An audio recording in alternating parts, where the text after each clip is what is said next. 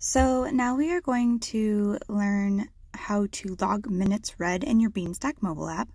So go ahead and open your Beanstack app, which is the turquoise square with the white heart. And it should bring you to your home page. And you can log multiple ways, but um, as all the other videos I've done, I'm showing the easiest, quickest way, which is the blue square and the white plus sign at the bottom and you're just going to click reading. And we want to log for Carteen. So click between which user you want. So in this case, click on Carteen and choose readers. I want to show you how to manually enter title info. And this is in case you don't want to have to scan the ISBN number. So this is how you manually enter it in. You can just type in the title. So let's say that Carteen um, is reading Harry Potter and the Sorcerer Stone.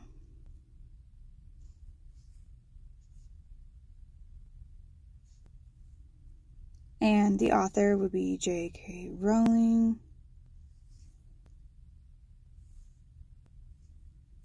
And you do want it to track your progress. And in this case we don't actually know um, if you don't have the book in front of you and you don't know what the last page is you can kind of just guess. I'm going to say it's 350 pages. And hit save. Okay so this um, at this point you can either start a reading session log a past reading or quick log this book is complete. So you can hit start reading session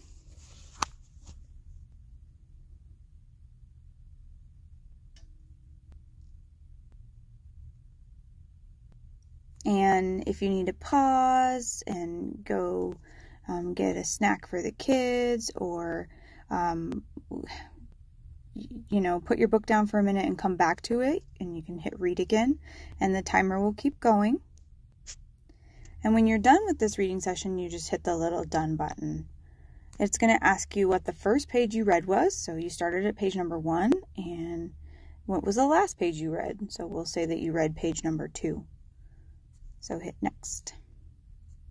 It is going to say, did you finish reading the book? Now, if you finished it, you would hit yes, but in this case, you did not finish it, so leave it on no. But you did finish your reading session for right now, so you do need to hit the word finish that's red. Um, it seems kind of confusing, but this just means that you're finished with this reading session that you're doing right now. Let's go ahead and log another reading. So hit the little blue square at the bottom and hit reading. And again, we're going to log for Carteen, choose reader. And um, we're going to search a recently logged title because this is a book that you already have entered. So go ahead and click the book that you're currently reading or you want to log a past reading session for. And so in this case, we're going to hit Harry Potter and the Sorcerer's Stone and hit select title. And then we're going to do log a past reading. So we're going to say that on June 6th, um, Carteen read 30 minutes.